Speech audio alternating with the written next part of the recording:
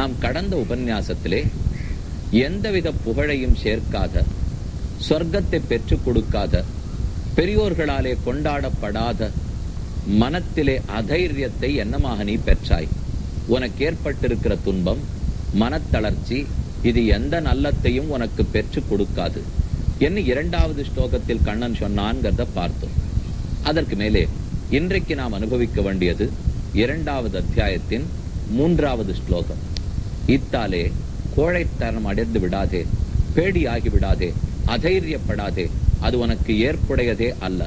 அதை விட்டு தொலைத்து மேலே சண்டை செய்வதற்காக புறப்படுவாய் என்று கண்ணன் தெரிவிக்கிறான். அதை இப்போது நாம் அனுபவிப்பது இங்கே அனந்த புஷ்கரனுடைய கரையிலிருந்து. ஏற்கனவே தெரிவித்தா போலே நாம் இப்போது இருப்பது சோழ தேசத்தில் சிறுபுலியூர்ங்கிற திவ்ய தேசத்தே. இங்கே இருக்கும் குளத்துக்கு அனந்த புஷ்கரணின்னு பெயர். இங்கே தீர்த்தமாடினால் நாகதோஷங்கள் அத்தனையும் விலகும் சந்தான பிராப்தி ஏற்படும் புத்திர பாக்கியம் ஏற்படும் நாகதோஷம் விலகும் என்று ஊரிலே பிரசித்தமாக பகருகிறார்கள். அப்படி ஏற்படுவதற்கு எது காரணம்? கீழேயே சொன்னா போலே பாலசயனத்தில் கிருபாசமுத்திர பெருமாள் சயனித்திருக்கிறார். ஆதிசேஷனுக்கும் கருடனுக்கும் ஒரு தடவை பிணக்கு ஏற்பட்டது. பெரியோர்களுக்கு கூட சண்டையா? என்று நமக்கு தோற்றும். இந்த சண்டையெல்லாம் உண்மையான சண்டையாகாது. பெருமானுக்கு இந்த திருத்தலத்தே கோயில் கொண்டு தரிசனம் கொடுக்க வேணுங்கிற ஆசை. அதற்காக ஏதோ ஒரு கதையை அவனாக நினைக்கத்தானே போகிறான்.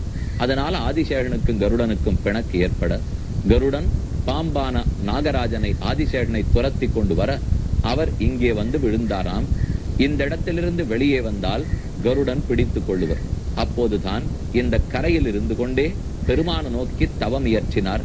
இப்போதும் அருகிலே ஆதிசேஷனுடைய சந்நிதி கோயில் ரொம்ப அழகுற விளங்குகிறது. பல அடியார்கள் நித்தியப்படி வந்து சேவித்து விட்டு போகிறார்கள். அர்ச்சக சுவாமிகள் மிக அழகுரை அத்தை பராமரித்து கொண்டு வருகிறார்கள்.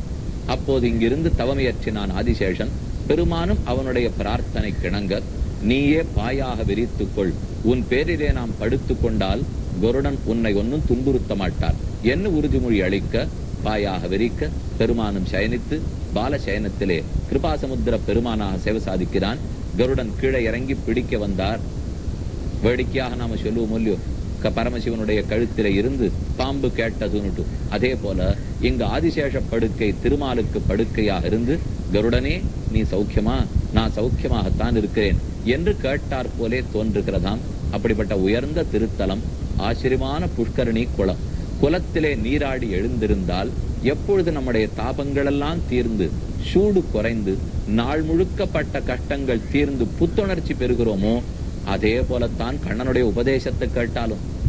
நாம் படுகிற கஷ்டங்கள் எல்லாம் தீர்ந்து போய் அவன் உபதேசம் என்னும் நீரிலே ஆடி புத்துணர்ச்சி பெற்று மனத்திலே வலிமையோட எழுந்திருக்கலாம் தேக ஆரோக்கியத்தோட எழுந்திருக்கலாம். அதைத்தான் இப்போது அர்ஜுனனுக்கு அர்ஜுனனுக்கு கண்ணன் உபதேசிக்கிறான்.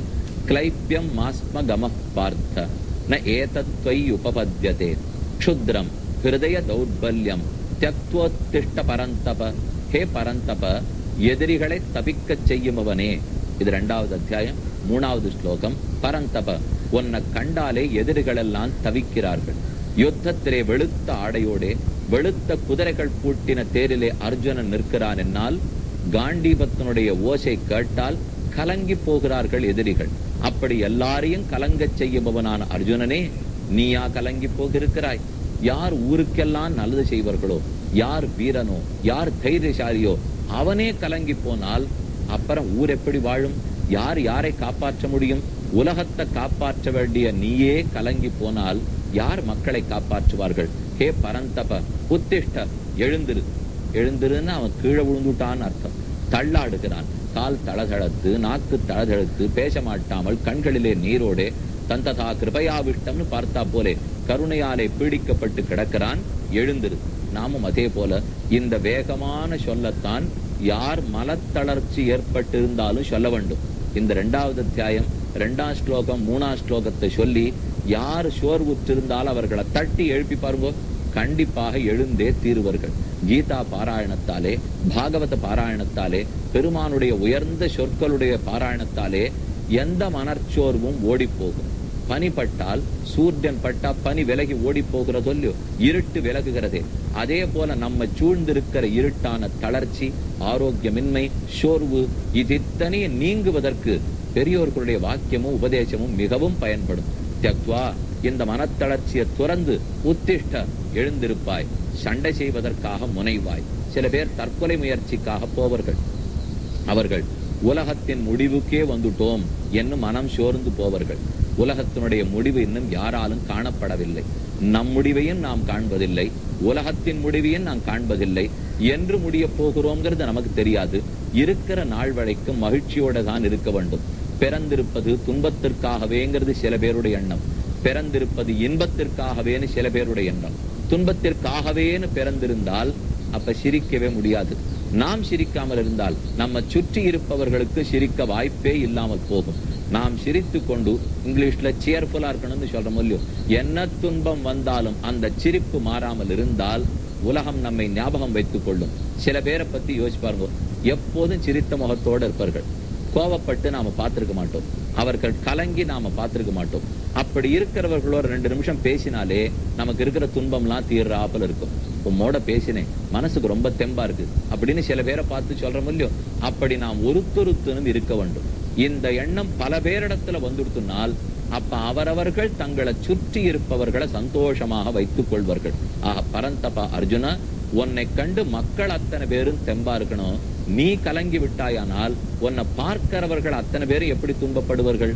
நம்ம வீட்டிலேயே ஏதோ ஒரு விபத்து நடந்துருத்துன்னு வச்சுப்போம் யாரோ ஒருத்தர் ஆஸ்பத்திரியில கிடக்கிறார். நம்ம எல்லாரும் அழுது கொண்டிருக்கிறோம். உண்மை. இயற்கையில அப்படித்தான் நமக்கு நினைக்க தோணும். ஆனா எல்லாருமே அழுதுனுட்டால் பார்க்கு பார்க்கு இன்னும் அழத்தோணும் வேலை செய்வதற்கு தோணாது. அந்த சமயத்தில் எது முக்கியம்? காரியத்தை நன்றா நடத்துறது வைத்தியர்களை சரியா பார்க்கறது பெருமானிடத்துல பிரார்த்திக்கிறது வேண்டியது எல்லாத்தையும் ஆவண செய்யறது பதட்டப்படாம இருக்கிறது. இது தானே வாழ்க்கையில முக்கியம். மனச்சோர்வு ஏற்பட்டுனால் உடனே எதை செய்வதற்கும் தோணாது. தளர்ச்சி ஏற்பட்டு தரைப்பட்டு போவோம். அது இல்லாமல் எழுந்துரு. உத்திஷ்ட பரந்தப. இப்ப தற்கொலைக்கு போறாள்னா நமக்கு வாழ்க்கையில இனி ஒண்ணுமே இல்லைன்னு நினைச்சுன்னு வந்துருவார்கள். யாருக்கு வாழ்க்கையில் ஒண்ணுமில்லைங்கிற முடிவுக்கு வர முடியும். ஐம்பத்தெட்டுல ரிட்டையர்மெண்ட் வாங்கிக்கிறோம். முடிஞ்சே போச்சா? அப்புறம் நம்ம வாழறதே இல்லையா? வீட்டுக்கு வந்த பிற்பாடு அப்புறம் நமக்கு பார்த்து சொல்லுவார்கள் ஆணா இருந்தாலும் பெண்ணா இருந்தாலும் வெறுமை தானே இருக்கிறீர்கள்? இங்க போயிட்டு வாங்கோ அங்க போயிட்டு வாங்கோ. என்னமோ இத்தனை நாள் மட்டும் வேலை பார்த்தோம். இனிமே வெறுமை இருக்க போறோம்னு நமக்கும் ஒரு எண்ணம் வந்து மூடி விடுறது. அது மற்ற பேருக்கும் வருகிறது. அதுவும் இந்த நாள்ல இன்னும் ஞாபகம் வச்சுக்க வேண்டியது. விஆர்எஸ் விருப்ப ஓய்வுங்கிறத நாற்பத்தஞ்சு ஐம்பதுலயே வாங்கிக்கிறோம். முன்னாடிலாம் ரிட்டையர்மெண்ட் மட்டும் ஐம்பத்தெட்டு அறுபதுக்கு உண்டு. இப்ப நாற்பத்தஞ்சு ஐம்பதில் வாங்கிட்டோம்னா அப்ப மிச்சம் இருக்கிற முப்பது வருஷத்து வாழ்க்கையை வீணேவா கழிக்க போகிறோம். எப்ப தெரியுமா ஒரு மனுஷனுக்கு சோர்வு ஏற்படுறது?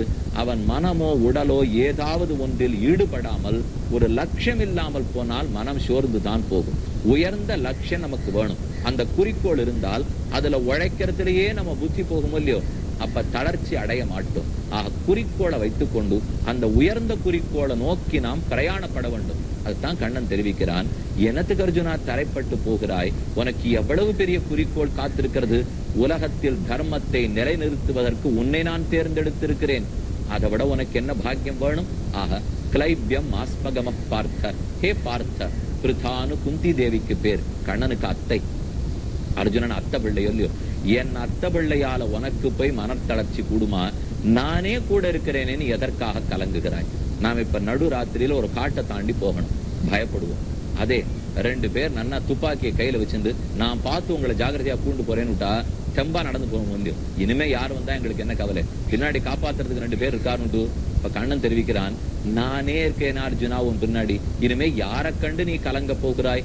இந்த வார்த்தை அர்ஜுனனுக்கு மட்டுமல்ல நம் ஒத்தொத்தருக்கும். எங்கு கலங்க போனாலும் கூடவே கடவுள் நம்ம இடத்துல இருக்கிறதுனாலே அவரை விட துப்பாக்கி இன்னொருத்தர் புடிச்சுனோட போறாளா காப்பாத்துறதுக்கு இன்னொருத்தர் வந்துட போறார்களா? அதனாலே கிளைபியம் கிளீபத்தன்மையை பேடித்தனத்தை கோழத்தனத்தை நீ அடையாதே. மாஸ்மகமக ஒரு நாளும் கோழைத்தனத்திலே சென்று விழுந்து விடாதே. ஏ பார்த்த என் அத்தையான குந்தியினுடைய பிள்ளையே உன்னை நான் அந்த மாதிரி விட்டுவிட மாட்டேன். மனோ கிளைபியம் ஆஸ்மகம பார்த்த ந ஏதத் துவை உபபத்தியதே. இந்த கோழைத்தனம் துவை உன்னிடத்திலே ந உபபத்தியதே. சேராது. கோழைத்தனம் யாரோ சாமானியனுக்கு சேருமே தவிர பெருத்த கஷத்திரியனாய் பெரும் போர் வீரனாக இருக்கக்கூடிய உன்னிடத்தில் மனச்சோர்வு சேராது. இன்னார் இன்னபடி இருந்தா தான் நமக்கு பிடிக்கும். எப்பவுமே ஒருத்தர் சிரிச்சுன்னு தெம்பா இருப்பார். அவர் என்னைக்கான ஒரு நாள் உட்கார்ந்து அழுதுந்தார்னா நீரா. உங்களுக்கா? அப்படின்னு கேட்போம் இல்லையோ? ஏன்னா நமக்கு அது பழக்கமே கிடையாது. சில பேர் எப்பொழுதும் அழுதுண்டே தான் இருந்து வழக்கம். அவர் என்னைக்கான்னு சிரிச்சா ஏதோ அத்தி பூத்தா போல சிரிக்கிறீர்கள்? என்று நாமே கேட்போம். அதனால என்னதுதான் வழக்கம்னு இருந்தா அது மாறக்கூடாது. அர்ஜுனனுக்கு வீரம் வழக்கம் துணிவு வழக்கம் போர் வழக்கம் காப்பாற்றுதல் வழக்கம். மனத்தளர்ச்சி அர்ஜுனனுக்கு இயல்பல்ல. அதனால என்ன ஏதத் பொய் உபபத்தியதே? உன்னிடத்தில் இது சேராது. ஆகையாலே க்ஷுத்ரம் ஹிருதய தௌர்பல்யம். ஹிருதயம் துர்பலமான தன்மை அடைந்தால் க்ஷுத்ரம் அது மிக தாழ்ந்தது. ஹிருதயம் மனசுன்னு சொல்லுகிறான். இடத்துல ஹிருதயம்னு சொன்னாலும் மனதென்னு அர்த்தம் பண்ணி கொள்ள வேண்டும். ஹிருதய தௌர்பல்யம் மன தளர்ச்சி மன தோர்வு இந்த சோர்வெல்லாம் க்ஷுத்ரம் மிக தாழ்ந்தது. இப்ப தற்கொலை முயற்சிக்கு ஒருத்தர் போறாருன்னு சொன்னால் அந்த ஒரு நிமிஷ பொழுது நாம அவளை காப்பாத்திட்டோம்னா போரும் அதுக்கு மேல தாங்க யாரு என்னங்கிறத புரிஞ்சு விடுவா. உங்களால லோகத்துக்கு எத்தனை பயன் இருக்கிறது? ஒருத்தர் நாற்பது வயசுக்கு இந்த முயற்சிக்கு போறார்னா அடுத்த நாற்பது வருஷம் அவர் இருந்திருந்தால் எத்தனை சாதனைகள் இந்த லோகத்துல புரிந்திருக்கலாம்? அவர் ஒரு அட்வொகேட்டா இருக்கலாம் அல்லது ஒரு பெரிய கம்ப்யூட்டர் கன்சல்டன்டாக இருக்கலாம் அவர் ஒரு ஆடிட்டராக இருக்கலாம் டாக்டராக இருக்கலாம். ஒரு டாக்டருக்கே மனச்சோறு வந்து என்ன இந்த உடல்களை பார்த்து பார்த்து கொண்டு என் குடும்பம் சரியா இல்லை நான் எப்பவும் டாக்டர் தொழில் பார்க்கறதுனால குடும்பத்துல நிம்மதி இல்லை குடும்ப வேலை கடை என்னால சரிவர கவனிக்க முடியல இப்படின்னு சோர்வடைந்து சோர்வடைந்து அது உள்ளுக்குள்ள உள்ளுக்குள்ள போக ஆரம்பிச்சிருவோம். இந்த சோர்வை மட்டும் தட்டி தள்ளிட்டு வெளியில தராத போயிட்டோம்னா அது உள்ள உள்ள உள்ள நம்ம இழுத்து கொண்டே போகும். அது புதை மணலை போலே. இதுக்குள்ள ஒரு சுழல் இருக்குன்னு வச்சுப்போம் அந்த சுழலுக்குள்ள காலை வச்சுட்டா நாம சுழல்லேருந்து வெளிவர முயற்சி எடுக்க முயற்சி எடுக்க சுழல் காலை பிடிச்சி கீழே இழுக்கும். புத குழிங்கிறது அதே போலத்தான். அந்த மண்ணு குழிக்குள்ள காலை வச்சுட்டா நாம போராடுவோம் இல்லையா வெளியில வர்றதுக்காக? அப்புறம் அப்படியே அது கீழே பிடிச்சு இழுக்கும். அதனாலே புத குழியிலேருந்து வெளியில வருவதற்கு யார் மாட்டின் இருக்காரோ அவர் முயற்சி மட்டும் முக்கியமல்ல. அவரால வந்துட முடியாது. கரையில இருப்பவர்கள் கயற்றையோ துணியோ போட்டு வெளியில இழுக்கிறாளோ இல்லையோ? அதே போல நாம் புதகுழியிலே சிக்கிக் கொண்டால் மனத்தளர்விலே இருந்தால் கண்ணன் என்னும் வெளியிலே நிற்பவன் தன் கருணை என்னும் கயிற்ற நீட்டி நம்மை வெளியே கொண்டு வர முயற்சிக்கிறான். என்னதான் இந்த ஸ்லோகத்துக்கு அர்த்தம் பண்ணி கொள்ள வேண்டும். சுத்ரம் ஹிருதய தௌர்பல்யம். தற்கொலைக்கே போனா கூட தட்டி சேர்த்த வேண்டும். என்ன உன் வாழ்க்கையை வீணடிக்க போகிறாய்? நீ ஒரு டாக்டர். உலகத்துல எத்தனை பேர் உன்னால பயன்படலாம்? குடும்பம் இல்லாத போனா போறது. நாலு பேர் உன்னை தப்பா பேசினா பேசிட்டு போறாளே. அதை பத்தியா நமக்கு கவலை இப்போ? எத்தனை பேர் என்ன வாழ்த்த காத்திருக்கிறார்கள்? ஓர் உயிரை காப்பாற்றினால் கூட போரும். நாம் பெற்ற பயனையை பெற்று விடுவோம் இனிமோ உலகமே போற்றினால் தான் நாம் வாழணும். யாரோ நாலு பேர் ஏதோ சொல்லிட்டா உடனே நாம போயிட்டோம். இதெல்லாம் தவறான அபிப்பிராயங்கள். நாம எதற்கு பிறந்தோம்? எதற்கு வளர்ந்தோம்? எதற்காக இருக்கிறோம்? எத்தனை தூரம் தெய்வம் நம்ம இடத்துல நம்பிக்கை வைத்து நம்மை படைத்திருக்கிறது? இத மனசுல கொண்டு ஆந்தனிய சமுதாயத்துக்கு முன்னேற்றத்துக்காக பாடப்பட வேண்டுமே தவிர மனத்தளர்ச்சியினால யாருக்கு எந்த லாபம் அடைஞ்சிட போறது? இப்ப தற்கொலை பண்ணிவிட்டதுனால தான் நல்ல பேர் கிடைக்க போறதா? இல்ல நான் என்ன ஆசைப்பட்டேனோ அது கைகூடிட போறதா? எதுவுமே இல்லை. மனம் தளர்ந்து வீட்டுல உட்கார்ந்து இருக்கிறதுனால நான் நினைச்சதெல்லாம் நடந்துரு போறதா? இல்லை. எத்தனை ஊனமுற்றவர்கள் சாதனையாளர்கள் கண் தெரியாதவர்கள் சாதிக்கிறார்கள் எழுதத்துக்கு கை இல்லாதவர்கள் கதை எழுதி பரிசு பெறுகிறார்கள் காலால எழுதுறாள்னு எத்தனை பேரை நாம பார்க்கல?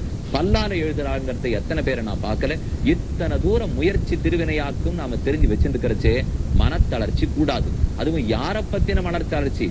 விரோதி திரௌபதி அவமரியாதைப்படுத்தினவன் கருணை அற்றவன் அதர்மத்துல நிற்கிறவன் அவனை குறித்து கருணையால நான் மனம் தளர்ந்து போயிட்டேன்னு சொன்னால் இது ஒத்துக்கொள்ளு போர்களா இருக்கிறது. கூடாது அர்ஜுனா. க்ஷுத்ரம் ஹிருதய தௌர்பல்யம். தியக்துவா உன் மனத்தளர்ச்சியை முதல்ல தொலை. தியக்துவா உத்திஷ்ட பரந்தவ எழுந்திரு. எதிரிகளை தப்பிக்கச் செய்பவன் நீ. நீ கலங்க கூடாது அனார்யஜுஷ்டம் அஸ்வர்கியம் அகீர்த்திகரம் அர்ஜுன. குதஸ்துவா கஷ்மலமிதம் விஷமய சமுபஸ்திதம். கிளைபியம் ஆஸ்மகமம் பார்த்த. இது உனக்கு ஏற்புடையதன்று. யாரோ நாலு பேர் அழுதுன்றிருக்கலாமே தவிர இந்த கோழைத்தனம் உனக்கு ஏற்புடையதன்று. எழுந்திருப்பாய் என்று அர்ஜுனனுக்கு கண்ணன் உபதேசிக்கிறான். தளர்ந்திருக்கிற நம் ஒத்தொத்தருக்கும் இந்த உபதேசம். நாம் யாரையும் தளர விட மாட்டோம். நம் பாரத தேசத்தின் பெருமையே தளர்ச்சி கிடையாது. முன்னேற்ற பாதையிலே தான் செல்வோம். நம்மாலே எல்லாரும் இன்புறும்படி நாம வாழ வேண்டும்ங்கிறத வேண்டிக் கொண்டு அமைகிறேன்.